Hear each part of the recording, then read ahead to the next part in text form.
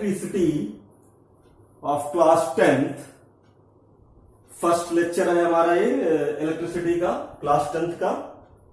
और इस इलेक्ट्रिसिटी में जो फ़र्स्ट चैप्टर है आपका इलेक्ट्रिसिटी क्लास टेंथ का, इस चैप्टर में सबसे पहले हम डिस्कस करेंगे डिस्कवरी ऑफ़ चार्ज यानी चार्ज क्या है? कैसे इसकी डिस्कवरी हुई? चार्ज कितने टाइप्स का होता है? how many types of charge and then we will discuss about property of electric charge. It means what is the property of electric charge, what is the behavior of electric charge, it means how many types of charge, what is the mass of charge? And uh, then we will discuss about conductors and insulators. And then discuss electric So first uh, we will discuss about discovery of charge. How to discover the charge? यानी charge की जो है क्योंकि जो डिफ आप electric current chapter पढ़ रहे हैं इलेक्ट्रिसिटी जो चैप्टर है इलेक्ट्रिक करंट के बारे में इसमें डिस्कस करेंगे हम लोग। तो इलेक्ट्रिक करंट जो है वो चार्ज पे डिपेंड कर रहा है। चार्ज की से प्रोड्यूस होती है इलेक्ट्रिक करंट तो हमें सबसे पहले चार्ज पता होना चाहिए कि चार्ज क्या होता है कितने टाइप्स का चार्ज ये होता है ठीक है? और इसकी प्रॉपर्टीज़ क्या है? ये सारी चीज़ें हमें पता होनी चाहिए उसके बाद ही हम इलेक्ट्रिक करंट पे आएँगे कि ये इलेक्ट्रिक करंट क्या होती है इसका फार्मूला क्या होता है इसको डिफाइन कैसे करते हैं इसका यूनिट क्या होता है सारी चीज़ें हम इस पे डिस्कस करेंगे। लेकिन जो लोग भी आ, हमारे लेक्चर वीडियो देख रहे हैं वो जो भी आज जितना हम टॉपिक इसमें डिस्कस करेंगे, इसके बाद जो पोर्शन लेफ़्ट रहेगा, यानी जितना पोर्शन बचेगा इस इलेक्ट्रिसिटी चैप्टर का, वो हम नेक्स्ट लेक्चर वीडियो में डिस्कस करेंगे। यानी जो इलेक्ट्रिक पोटेंशियल डिफरेंस है इलेक्ट्रिक पोटेंशियल है, या सिंबल्स हैं इलेक्ट्रिक सर्किट के इलेक्ट्रिक सर्किट क्या होता है और उसके सिंबल्स क्या हैं, या रेजिस्टेंस क्या है हीटिंग इफ़ेक्ट क्या है तो सारी चीज़ें हम lecture one lecture two lecture three lecture four ऐसे डिस्कस करेंगे।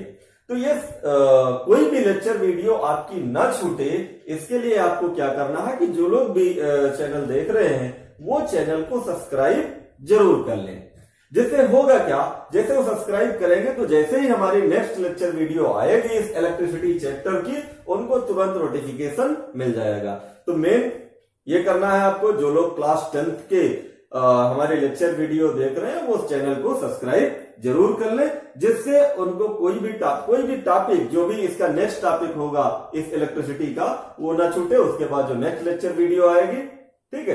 तो अब हम डिस्कस करेंगे डिस्कवरी ऑफ़ चार्ज यानी डिस्कवरी कैसे चार्ज की हुई, ये डिस्कस करेंगे जो है। तो चार्ज के बारे में देखिए, एक यूनानी फिलासफर थे थेल्स थेल्स एक फिलासफर थे, यूनानी जो एक थेल्स फिलासफर थे, उन्होंने क्या किया था? अंबर नाम का एक मटेरियल लिया था। और इस अंबर को क्या किया था उन्होंने? उलेन या उल से रबरिंग की थी। और रबरिंग करके देखा कि जो मटेरियल है हमारा अंबर ये कुछ प्रॉपर्टी को एक्वायर कर लेता है, जिससे कि कुछ स्मॉल बॉडीज को अट्रैक्ट करने लगते हैं लाइक पीस ऑफ़ पेपर जैसे इन्होंने कहा कि भाई ये कोई अंबर है, इसको उलन से ऐसे रबरिंग की, और रबरिंग करने के बाद देखा कि ये प्रॉपर्टी कुछ कुछ ये बॉडी जो है हमारी ये मटेरियल जो है ये अंबर जो मटेरियल ये कुछ प्रॉपर्टी को एक्वायर कर लेता है यानी अट्रैक्टिव प्रॉपर्टी को एक्वायर कर लेता है। अट्रैक्शन प्रॉपर्टी यानी। और क्या करता है कि ये स्मॉल पीस ऑफ़ पेपर से को अट्रैक्ट करने लगता है। ये हमारे जो यूनानी फिलासफर थे फिल्म्स इन्होंने सबसे पहले ये रबरिंग करके देखा था। लेकिन इनकी जो डिस्कवरी थी ये इसके बारे में कोई ने आ, बहुत दिन तक ये डिस्कवरी पड़ी रही। उसके बाद एक गिलवर्ड साइंटिस्ट आए हमारे। गिलवर्ड।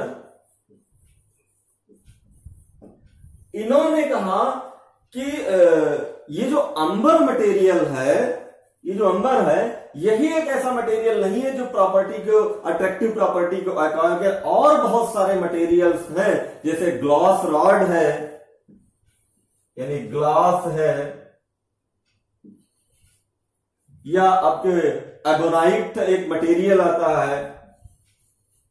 एबोनाइट और बहुत सारे ऐसे मटेरियल्स हैं जो गिलबर्ट ने बताया कि और सारे जो मटेरियल है, उनको भी अगर रबरिंग करेंगे आप तो वो भी अट्रैक्टिव प्रॉपर्टी को एक्वायर कर लेंगे और कुछ बॉडीज को, कोई स्मॉल पेपर से किसी बॉडीज को अट्रैक्ट करेंगे।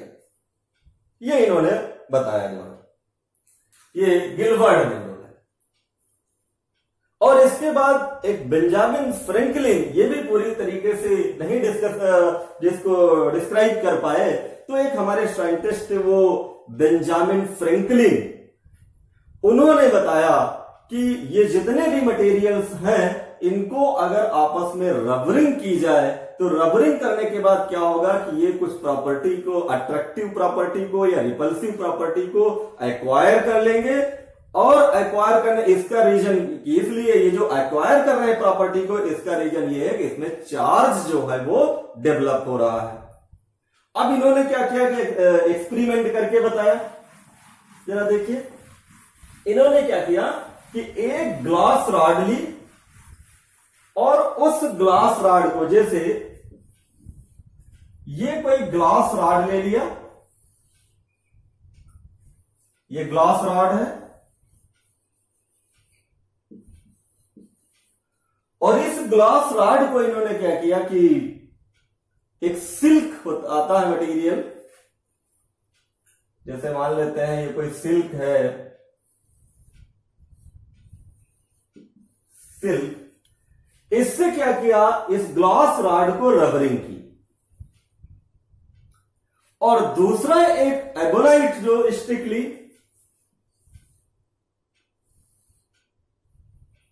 इस एबोनेट स्टिकली एल्बोनाइट स्टिक, यानी राड ले लीजिए। और इसको क्या किया? जो स्किन ऑफ़ कैट यानी कैट की जो स्किन ये, यानी कैट स्किन इससे रबरिंग की। अब रबरिंग करने के बाद देखा कि ये जो ग्लास रॉड है, ये भी कुछ प्रॉपर्टी को एक्वायर कर ले रही है। ये जो एबोलाइट स्टिक है, ये भी कोई प्रॉपर्टी को एक्वायर कर रही है। ये भी कुछ प्रॉपर्टी को अट्रैक्ट कर रही है। ये भी कोई जो ग्लास रॉड है हमारी है, ये भी किसी जो हमारे पीस ऑफ़ पेपर है कोई ऐसे बॉडीज है जिनको अट्रैक्ट कर रही है। तो इन्होंने क्या किया कि एक ग्लास रॉड और ले लिया। ये दोनों आपकी ग्लास रॉड है। और ये ग्लास रॉड ले लिया। एबोनाइट दो राड ले ली। और इन दोनों को क्या किया? इसे सिल्क से रबरिंग की। और ये वाली जो एबोनाइट है, ये स्किन ऑफ़ कैट से, यानी कैट स्किन से रबरिंग की। अब रबरिंग करने के बाद देखा, ये जब दोनों राड थी ग्लास राड जो थी, जैसे मान लेते हैं कि जैसे ये ग्लास राड है, एक ये ग्लास राड है, इन दोनों को क्या किया? ये सिल्क से रबरिंग की। और रबरिंग करने के बाद जब पास पास लाए तो ये रिपेल कर रही थी। ये रिपेल कर रही थी। और यहाँ पे ये जो एबोनाइट मान लेते हैं, ये दूसरी ले लेते हैं। ये एक एबोनाइट रॉड है और ये आपकी दो एबोनाइट रॉड है और कैट स्किन से रबरिंग की।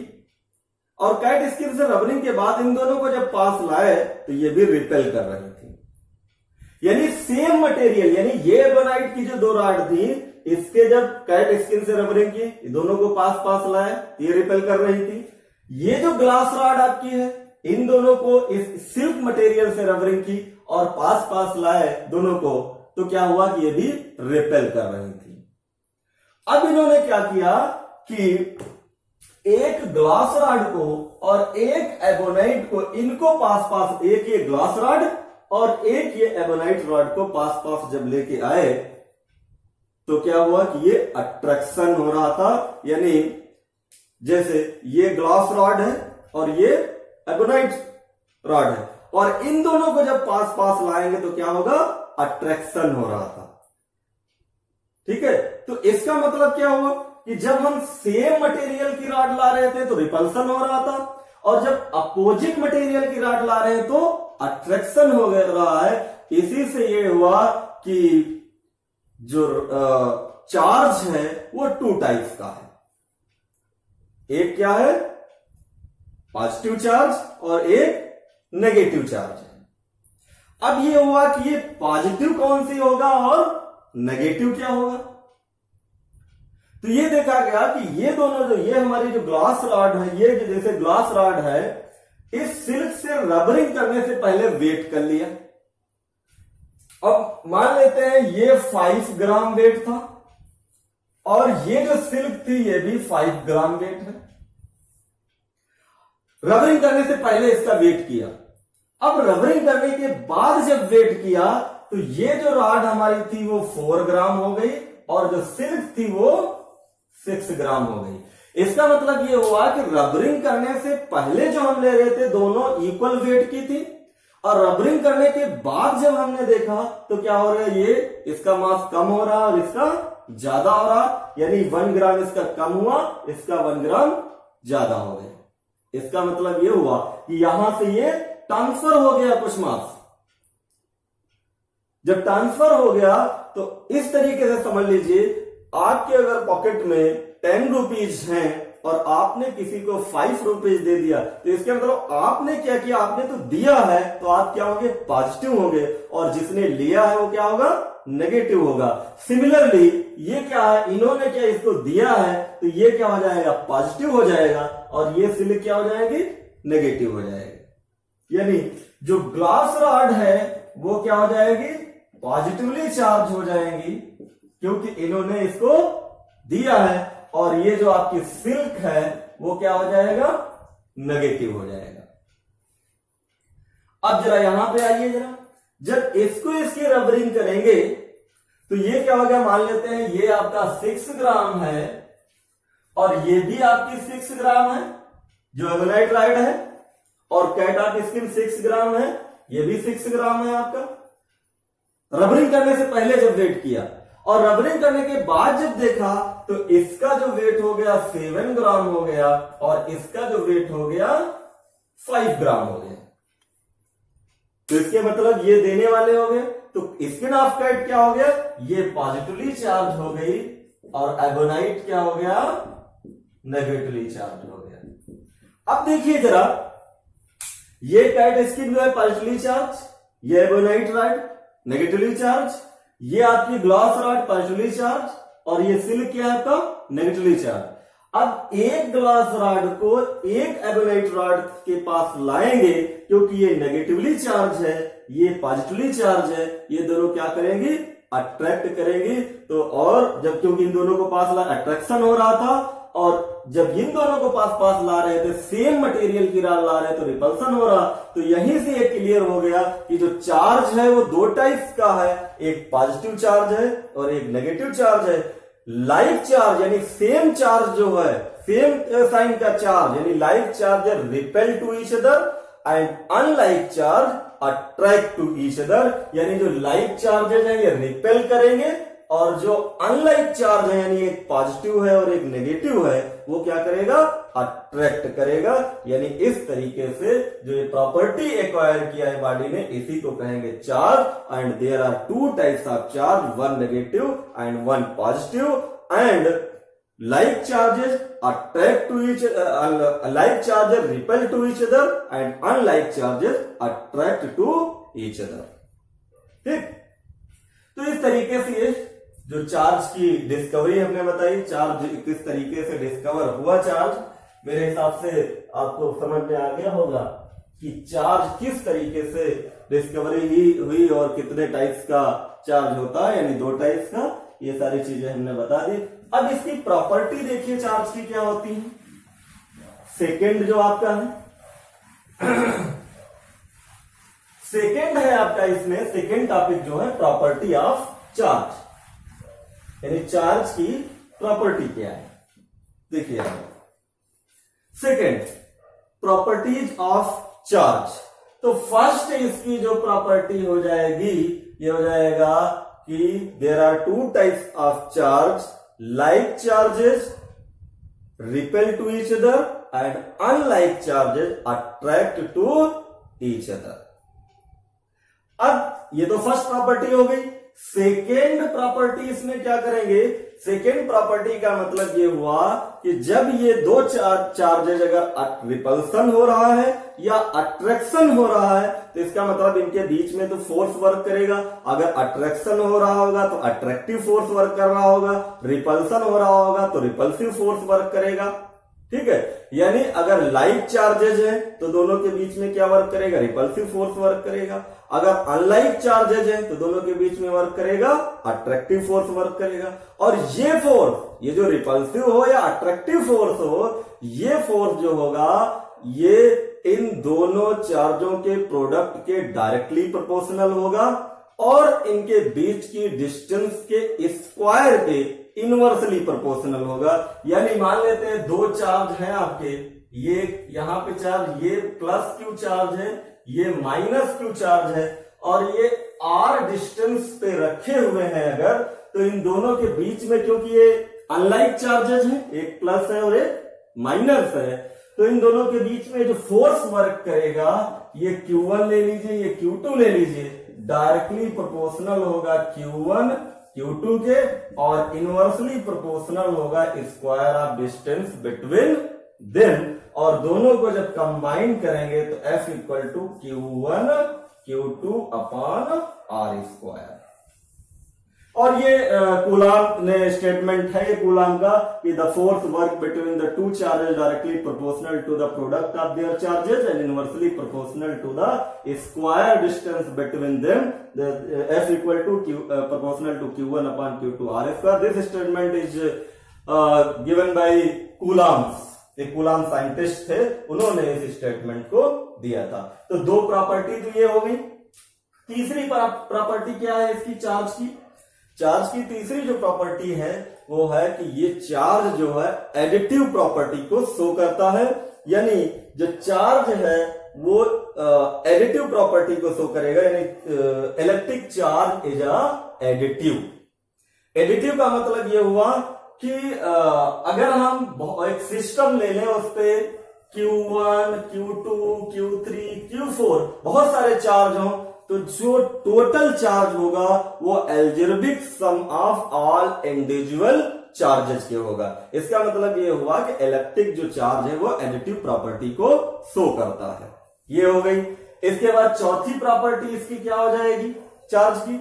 चौथी प्रॉपर्टी इसकी ये हो जाएगी कि चार्ज जो होता है वो कंजर्व्ड होता है। यानी electric charge is conserved it means इस चार्ज को ना तो हम डिस्ट्रॉय कर सकते हैं, ना क्रिएट कर सकते हैं। क्यों? क्योंकि देखिए, जब हमने रबरिंग की थी तो जितना चार्ज एक में पॉजिटिव डेवलप हो रहा था, उतना ही चार्ज दूसरे पे नेगेटिव डेवलप होगा। यानी चार्ज को हम डिस्ट्रॉय नहीं कर सकते हैं, ना इसको क्रिएट कर सकते हैं। यानी इलेक्ट्रिक चार्ज इज़ कंजर्व। ठीक, एक और इसकी प्रॉपर्टी है इलेक्ट्रिक चार्ज की, ये क्वांटाइजेशन को शो करता है। क्वांटाइजेशन का मतलब ये हुआ कि जो चार्ज है, वो फ्रिक्शन पार्ट में ट्रांसफ़र नहीं होता है यानी one by two one by three one by four के पार्ट में ट्रांसफ़र नहीं हो सकता। ये इंटीग्रल मल्टीपल के फॉर्म में ट्रांसफ़र होता है। यानी इसका जो फार्मूला होगा वो हो जाएगा।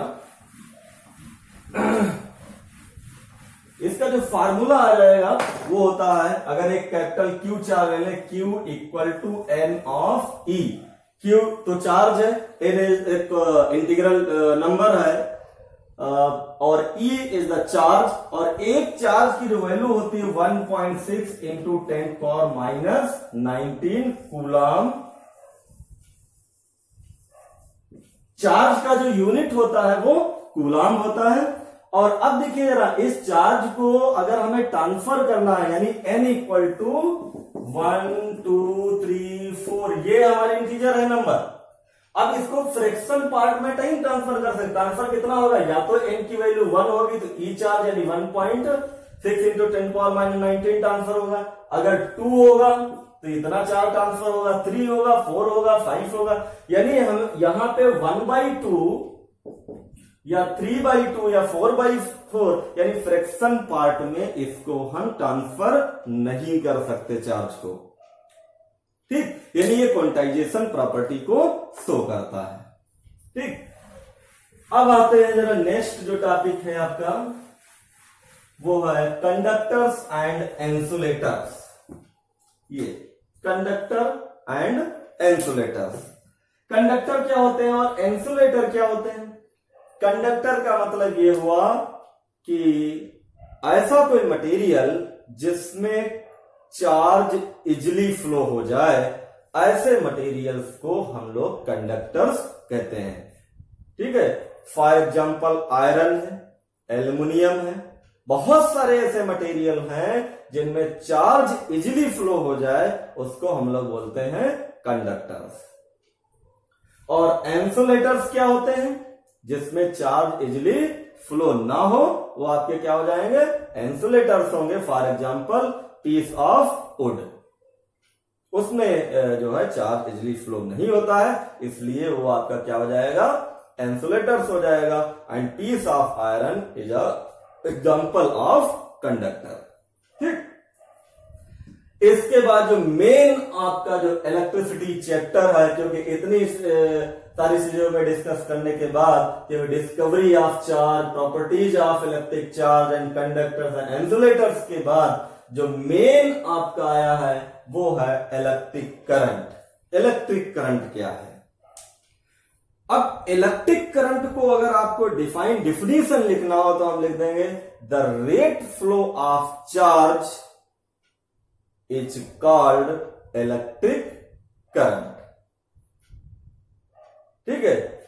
यानी मान लेते हैं कि जो चार्ज को ऐसा है, किसी कंडक्टर में फ्लो हो रहा है क्यू चार्ज फ्लो हो रहा है टी टाइम तक फ्लो हो रहा है तो जो डिफिनीशन इसकी इलेक्ट्रिक करंट है वो क्या है? The rate flow of charge is called the electric current and electric current denoted by I यानी I is equal to q upon t ये आपकी डिफिनेशन हो जाएगी इलेक्ट्रिक करंट की। यानी the rate flow of charge is called the electric current या लिख देंगे the electric current is defined as the rate flow of charge is called the electric current and if if then the l formula of electric current I is equal to q by t where q is the charge unit of charge coulomb and t second so the unit of electric current is equal to क्या हो जाएगा? coulomb पर second. और एक, ये तो direct unit हो गया इसका। दो टाइप्स के यूनिट आपको बताए गए होंगे डायरेक्ट यूनिट और फंडामेंटल यूनिट्स अब फंडामेंटल यूनिट इसका क्या है? ये है एम्पियर यानी इसका जो यूनिट आपका होगा, वो क्या होगा? एम्पियर होगा। इलेक्ट्रिक करंट का जो यूनिट है वो एम्पियर होगा। और डिफिनीशन हमने आपको बता ही दिया कि इलेक्ट्रिक करंट को अगर डिफाइन करना हो तो कैसे डिफाइन करेंगे? The rate flow of charge is called the electric current. It means I is equal to Q upon T and the unit of electric current is ampere. यानी ये ampere हो जाएगा यहाँ पे। और जो ये स्केलर देखिए, जो क्वांटिटी है आपकी, दो टाइप्स की होती है। स्केलर क्वांटिटी और वेक्टर क्वांटिटी अब ये इलेक्ट्रिक करंट आपकी जो है, ये स्केलर है या वेक्टर है, ये आपको पता होना चाहिए। स्केलर क्वांटिटी कौन होती है? स्केलर क्वांटिटी वो होती है जिनका केवल मैग्नीट्यूड हो डायरेक्शन ना हो। फॉर एग्ज़ाम्पल डिस्टेंस उसकी कोई डायरेक्शन नहीं होती है, केवल मैग्नीट्यूड होता है। वो आपकी स्केलर क्वांटिटी है। वेक्टर क्वांटिटी क्या होती है? जिनका डायरेक्शन और मैग्नीट्यूड बोथ हो फॉर एग्ज़ाम्पल डिस्प्लेसमेंट अब यहाँ पे प्रॉब्लम यह है कि ये जो हमारा है इलेक्ट्रिक करंट ये स्केलर क्वांटिटी है या वेक्टर क्वांटिटी है? तो देखिए जरा, क्योंकि यहाँ पे जब हम इलेक्ट्रिक करंट के बारे में डिस्कस करेंगे तो इस इलेक्ट्रिक करंट जो है वो स्केलर क्वांटिटी है, ये वेक्टर क्वांटिटी नहीं है। क्यों? क्योंकि जो ये जो डिफिनीशन है ये चार्ज से आ, मिल रही है। यानी चार्ज से हम इसको डिफाइन करते हैं कि the rate flow of charge is called the electric current और चार्ज की कोई डायरेक्शन नहीं होती कोई पर्टिकुलर डायरेक्शन नहीं होती है। और जब चार्ज की डायरेक्शन नहीं है तो ये इलेक्ट्रिक करंट की डायरेक्शन नहीं होगी। यानी इसका केवल मैग्नीट्यूड होगा। और जब ये मैग्नीट्यूड केवल होगा तो इसका मतलब ये क्या है? स्केलर क्वांटिटी है। ठीक? या एक तरीके से और इसको हम लोग डिफाइन कर सकते हैं कि जो इलेक्ट्रिक करंट है, वो वेक्टर एडिशन लॉ को फॉलो नहीं करती है। इसलिए ये स्केलर क्वांटिटी है वेक्टर क्वांटिटी नहीं है। लेकिन एक इसको और बोलते हैं कि ये इसको ना तो ये स्केलर क्वांटिटी है, ना ये वेक्टर क्वांटिटी इसको हम लोग टेंसर क्वांटिटी भी जब हायर सेक्शन में जाएँगे, वहाँ पे बोलेंगे इसको tensor quantity tensor tensor quantity भी बोलते हैं इसको, इस इलेक्ट्रिक करंट को। टेंसर क्वांटिटी लेकिन टेंथ क्लास में यहाँ पर तक हम लोग इसको क्या बोलेंगे? स्केलर क्वांटिटी है, क्योंकि इसकी कोई पर्टिकुलर डायरेक्शन नहीं। डायरेक्शन हम लोग देखा होगा जब डायग्राम हम लोग शो करते हैं सर्किट शो करते हैं तो वहाँ पे जो है डायरेक्शन शो करते हैं। कि किस डायरेक्शन से ये करंट इसमें फ्लो हो रही है सर्किट में? वहाँ पे डायरेक्शन शो करते हैं। लेकिन क्योंकि ये वेक्टर एडिशन लाखों फॉलो नहीं करती है, इसलिए ये जो है, क्या है? स्केलर क्वांटिटी है, वेक्टर क्वांटिटी नहीं है। ठीक है? अब यहाँ पे तो हम इसको स्केलर क्वांटिटी कह सकते हैं। लेकिन जब हर सेक्शन में जाएँगे तो वहाँ पे हम लोग इसको वेक्टर टेंसर क्वांटिटी कहेंगे। ठीक? तो आज जितने भी हमने टॉपिक आपसे डिस्कस किया डिस्कवरी ऑफ़ चार्ज और उसकी प्रॉपर्टीज़ कंडक्टर्स इंसुलेटर्स और इलेक्ट्रिक करंट और इसका यूनिट सारे हमने आपको चार्ज का यूनिट भी बना, बता दिया और इलेक्ट्रिक करंट का भी यूनिट आपको बता दिया। अब यहाँ पे आता है कभी कभार डिफाइन वन कूलाम जैसे आ जाता है तो इस फार्मूले से जरा अगर फार्मूला रखे क्यू इक्वल टू क्या हो जाएगा? आई इंटू टी ठीक है? अब यहाँ से अगर एक सेकंड में एक एम्पियर की करंट अगर फ्लो हो रही है तो उसके जो चार्ज की वैल्यू क्या होगी? वन कूलाम होगी। ठीक है? तो इस तरीके से हम लोग वन कूलाम को भी डिफाइन कर सकते हैं। तो आज इसमें हम इस लेक्चर वीडियो में आज इतना ही रखते हैं।